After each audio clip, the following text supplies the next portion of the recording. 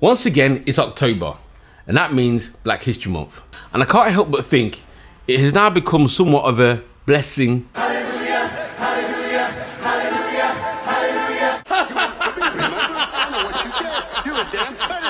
and a curse. Listen well, all of you. This curse will last to the end of time. No power on earth can change it. As you have those who are out there deliberately going out of their way to undermine it. I don't want a Black History Month. And those who are out there trying to coattail. Gay men do identify with the affirming awesomeness of black women. Whilst you have others who are doing what they think is the right thing, but just fogging up the issues. Damn. I can't see shit out of this thing. Dear oh dear oh dear. You're crazy. Am I? Yes. Am I? Yes. Am I? When the idea of Black History Month was introduced back in way, way, way, way when. Enter my man Carter G. Woodson. Carter was a Harvard trained black historian who, along with Jesse E. Moorland, a prominent minister, founded the Association for the Study of Negro Life and History. Carter had been disappointed by the lack of African American history covered in schools. His aim was for children to study the important achievements of black people. In 1926, Carter and Jesse's association sponsored Negro History Week, and this was the very start of Black History Month as we know it. The notion or the premise was to counteract this. Civilization, as we see it now, is a product of Europe and the descendants of Europeans in North America and Australia. And that the last things that I can see that seem to have been devised in Africa were spears and bone tipped harpoons. This was around 35,000 years ago. Since then, nothing, nothing, nothing.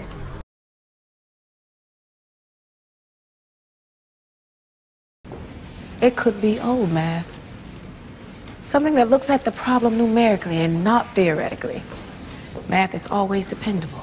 We all know the intelligence of African people and their descendants have been ridiculed and demonized to say the least. The very idea of black people in America contributing to the field of science was largely viewed as a joke. This adulterated perspective was strong in the 1800s, especially when black inventors began contributing to American civilization. Just to give you guys an idea, a popular candidate for Congress in the 19th century once said in reference to black people that no one of the race had ever reached the dignity of an inventor. Writers, scientists, um, politicians. Are you an engineer or an any achievement by an individual black person was seen just as that an individual achievement. There are many black people in Britain and America who just get on with their lives and achieve all kinds of things on their own merits without being diversity hires or part of some affirmative action plan. Whilst projecting that somehow this individual achievement is considered to be an defining equalizer for the group. Where young black boys overachieve is race offered as an explanatory factor. For example, British Ghanaian and Nigerian boys on free school meals, so the poorest sector, mm academically outperform and are more likely to go to university than similarly poor white, mixed race, and black English kids whose grandparents came from the Caribbean. The four youngest children in Britain to ever take GCSEs are all black. Ramarni Wilfred, a young black boy from East London, has a higher IQ than Einstein. Mm. Young black men are more disproportionately represented in professional football than any other area of British right. life, with all of the consequences and implications that has for their contribution to the tax base, etc. So it's almost as if a black person does something negative, the entire so-called black community is to blame. Mm. Black person does something positive and they suddenly regain their humanity and their right to be viewed as an individual. Mm. Yeah, especially when it came to racism and things like that, you know what I'm saying? We do need to remember that when we're talking about murderers and drug dealers, the rioters and the Black Lives Matter activists. Which, in my opinion, is not. Because even today, in general, right, there are a significant number of people out there right, that still consider black people to be. Summerlee sees slaves as mere workhorses rather than people. The light shining off the naked skin of the Negroes is a magnificent sight. In comparison to other groups that use their glorious history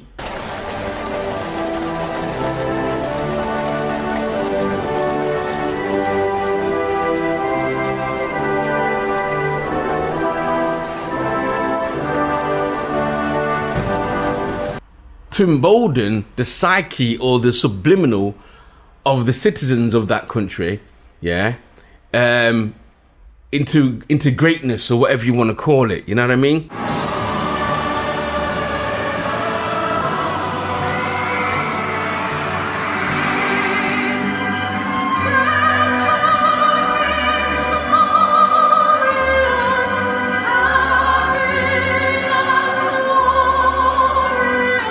And what you'll find is that in the black community, there's not much representation of that. So, for example, you don't really hear much about the Moors, right? You don't hear about how the Moors took over Spain, or you hear about how the Moors literally ran shit for hundreds of years prior to the slave trade, and they had money, wealth, power, and all of those things there. The Moors have a very rich history, and they ruled Spain and parts of Europe from the year 711 to around 1492. And they brought enormous learning to Spain that over the centuries would continue and have an impact on Europe even through today. The Moors were a group of mostly black Arabs and Hebrews from North Africa You would do well to mind your tongue more. Whose civilization and cultural achievements brought significant improvements to Europe during the Middle Ages and height of the Andalusian Empire. as during the Dark Ages, right, which I find quite interesting, the, the term Dark Ages or why they call it the, the Dark Ages, um, because at that time, what you had was Europe. Europe itself was a shambles, right? Had nothing. It was down, just down and out, right? Whilst at that time, the Moors were running shit. In the year 711 AD, Muslim forces invaded Spain and created a society so rich and so powerful it was the envy of the known world. This wasn't the rigid, ferocious Islam of our imaginations, but a progressive, sensuous, intellectually curious culture that for a number of spine tingling years looked set to sweep through the whole of Europe. It is an incredible story, but one that has been systematically written out of history. You would do well to mind your tongue more. Leaving aside Egypt, which is more properly considered as part of the Fertile Crescent, uh, that part of the Middle East in which much of our civilization has its roots, uh, that part of the Middle East in which much of our civilization has its roots. right? And the Moors happen to be black. They're dark. These people have become known as the Moors.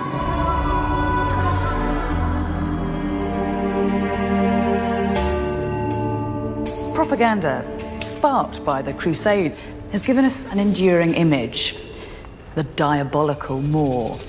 A dark skinned, savage, alien enemy. Dark skinned, savage, alien enemy. So when you talk about the Dark Ages, most people refer to it as in the the time when it was the Europeans who were down on their luck and they didn't have nothing. They were back in. They didn't have no technology. They were back in, you know, living in uh, filth and all those things. There, it was a dark age for them. But I kind of like look at it as no. The, the reason why they call it the Dark Ages is because black people were running shit. but that's just my uh, uh, conjecture. Conjecture there. You know what I mean? From the Bronze Age onwards, there'd been a constant exchange of artifacts and information all across the Eastern Mediterranean.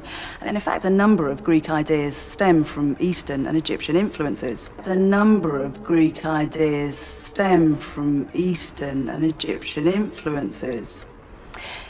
The bulk of this knowledge was preserved in the great schools and library at Alexandria. And then in 641 AD, the Arabs take over the city and at a stroke have direct access to this precious learning. And at a stroke have direct access to this precious learning. Almost everything that we see around us was designed or invented by people of European origin.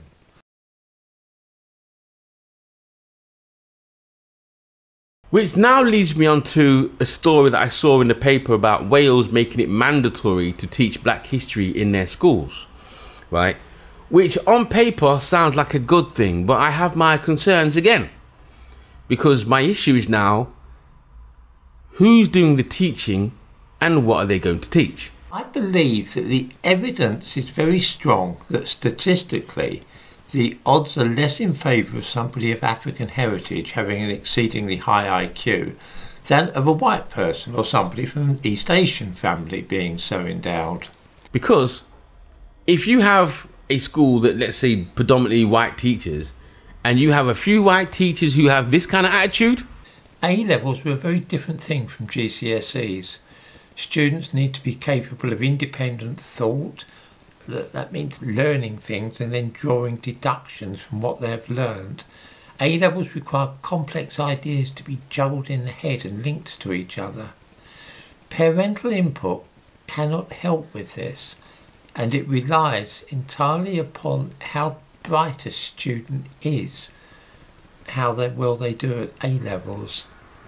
The truth is that there seem to be fewer children of African and Caribbean origin capable of those sorts of sophisticated mental operations, and the ones who did well enough at GCSEs now start to struggle and fall behind.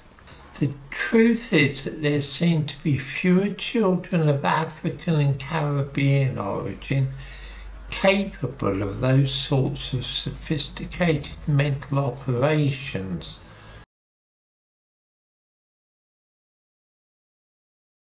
And they happen to be on the board that's writing the curriculum itself, as in, okay, they're writing the directions of what the kids are supposed to be learning at such a young age, right? Uh, they're going to have a skewed perspective in the representation of black history by skating over some certain things. Wilberforce was a clumsy political strategist at times. He and his friend Thomas Clarkson introduced legislation to limit the slave trade in 1789, 1791, 1792, 93, 97, 98, 99, 1804, and 1805, only to be defeated every time. Opposition to Wilberforce became so fierce, opposition to Wilberforce became so fierce that one friend feared he would be barbecued by African merchants and eaten by Guinea captain. And in my opinion, their their views will be tainted with a lot of white saviorism. if that's a word, white saviorism. I'm coining a new phrase. In July of 1833, three days before William Wilberforce died, it became clear that they had the votes they needed to end slavery in the British Empire. The next month, the House of Lords passed the Slavery Abolition Act. As probably the only member of this house who actually grew up and went to school in Africa, I can tell you that's not what we're taught. That's not what we're taught. Much more is taught about the history much more is taught about the history of black slave traders, of black slave traders who existed before and after the transatlantic slave trade. Before and after the transatlantic slave trade. Before and after the transatlantic slave trade. In which black people's achievements throughout history will not be credited solely by for black people without having a white person's uh, contribution attributed to it. When we look at Africa as it is now and observe such things as the vastly increased lifespan of those living there, brought about by modern medicine, along with the buildings, roads, cars, aeroplanes, electricity, computers, and mobile telephones, and all the rest of it, we cannot help but wonder what things would be like had Africa been left to its own devices and there had been no importation of European technology or culture. So you could say, yes, we all know black people did this and black people did that, but if it wasn't for the white man, that would be sewn into the fabric of whatever history they're teaching, right? What did Africa create before the arrival of white Europeans in the 15th and 16th centuries? Which in turn kind of contradicts the idea of black people pulling themselves up by the bootstraps. Uh, uh, hmm.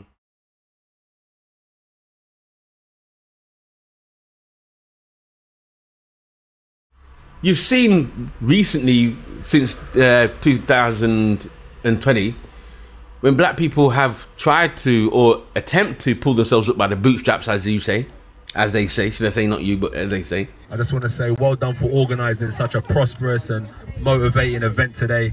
It was just done off of like a conversation in a WhatsApp group that has brought us all together here today. Um, so well done for the boys as well, the Watford Alliance boys, well done. Please can we get a round of applause for them as well, please? As we've seen, when black people do try to specifically do something for ourselves or there's a, a, rally for black people to invest in black business or do something specifically for black people? Invest in your own businesses. We have to engage with the youth. I completely agree with that. They're met with a whole little back um, met with a whole lot of backlash and talking about oh that's racist. That is if you do that specifically for black people. Okay. And the issue that i have or my argument with that is that well you know what right and I put it simply like this if you're at the back and you want to get to the front, or if you're fourth and want to get to second or first, then at some point you're going to have to accept that you're going to have to pass third and second. you know what I'm saying? And even though third and second aren't going to like the fact that you passed them, in order for you to progress or get out of a certain rut or whatever it is, you're going to have to do that. Verstappen leads from Bottas, who locks up again. Hamilton is trying round the outside of his teammate and might squeeze through on the inside now into second place, and he does. You can't keep elevating, you can't pretend that you're better in yourself by always being at the back. And you cannot improve if you're going to be at the back um, pushing everyone forward in front of you. You know what I'm saying? To be immortal, many must die. And what it seems to me, and how I kind of view things, is that in order for one to remain dominant, yeah, others obviously have to be beneath you or subservient to you, right? Therefore, you really truly can't have equality, right? In which, in the claim, in which people are trying to claim that this country is equal in all of that, blah blah blah, which as a work as as as um, classes may go, you might find that working class and you know equal to working class and middle class and so forth equal to middle class and upper class working around. But in general, uh, when it comes to the difference between uh, races or ethnic groups, right? In order for one group to stay dominant, the other ones cannot be in positions of power or perceived to have power. Yeah. Therefore, you cannot be equal in that stance. The strength of empire is, is conquest and credit. You can't understand the history of the British Empire without understanding Britain's central role in slavery. The British were a bunch of warmongers. The empire is based on money and based on violence, on the ability to kind of employ large numbers of troops to fight. Empire, in a sense, is a career, it's a line of work for a large section of Britain's elite. Which I do see sometimes as uh, black people taking as a false hope, right? in thinking that you know what right if we make everything all equal and we'll we got the same job opportunities we've got the same this and we've got the same all of that and we're all equal yeah it sounds again sounds good on paper but the reality is if the people's mentality is that you are still beneath them like for example this jake guy as a white man i won't be listening to people of color because uh, they're no good in positions of power uh, um, jake a black man's place is under a white man. But let's say at the end of the day, for me, and I'm speaking on behalf of myself, okay, I think that Black History Month should be more than just a reminder of a few inventions that black people uh, did and a few contributions that black people made towards um, society today with these inventions and their involvement in advancing in technology and stuff like that. Um, it should be more than that, right? Uh, what I believe is that it should also be a remembrance and an introduction, uh, time to introduce, which there are people doing it. Uh, don't get me wrong, but it should be more emphasized on it though. The Moors brought many advancements to Europe which were not known during that time, including advancements in the sciences.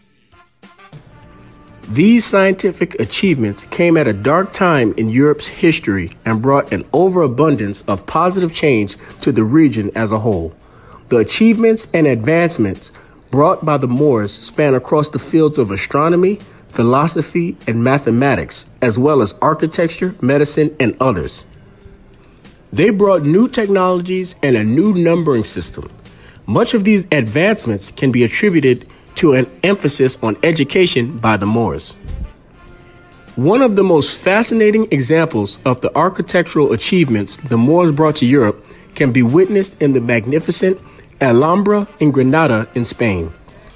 And that should be showing black people that we weren't just slaves. We were and we did have empires. Empires come and empires go. And we, at a certain periods of time in history, did have empires. Just like Britain has an empire, just like the Roman had an empire. Yeah? And we were running shit. We had the technology. We did have the advancement on others, in which when we fell, they advanced too. And that's how empires, dynasties work. Right? Example again, the Moors.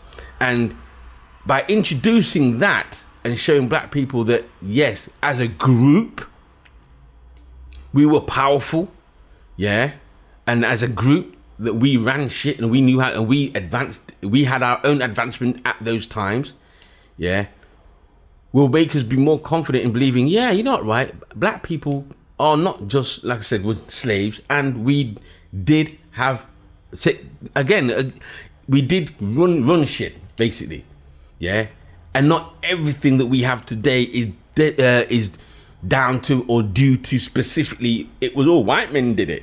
Just to remind ourselves of the world outside Africa, there were clocks, watches, magnetic compasses, ocean-going ships, writing, printing presses, algebra, gunpowder, stone buildings, cranes, pulleys, spinning wheels, ceramics, thermometers, concrete combination locks, spectacles, and a thousand other things. Right? That's what we should be teaching Black History Month. Right? And to me, that would in, that that would embolden and empower the group, right? Rather than as you know, right, rather than seeing individual achievement. And no, no disrespect to the individual achievements. You know what I mean? Everything's good, but even those things there, they should be seen as how I put it. They should be seen as how white people do it. Yeah, the Wright brothers invented the airplane. White people invented the airplane. Right? Black person invents, I don't know, a car or whatever it is, and it was he did that, but all the all, all the other black people didn't do shit. Right? You know what I'm saying? you know what I'm saying? Um, and anyway, that was it. Uh, I'm just looking for my notes here. But yeah, I've got my talking points out of the way for this one. You know what I mean? And but again, as you know what to do, let me know what you think in the comments below. Um, should Black History be should Black History Month be more than just an, uh, a reminder of what a couple of individuals do, and should Black people as a group be more uh, represented as in our power when we had the Moors and when we were running Egypt and things like that? Should that come more to the forefront so Black people could understand and don't forget and do introduce to remind people that you know empires come and go. Should that be more at the forefront? Yeah, for Black History Month. Let me know what you think in the comments below. And don't forget to like, share, and subscribe. I'm out. Peace. Yes. Am I? Yes. Am I? Yes.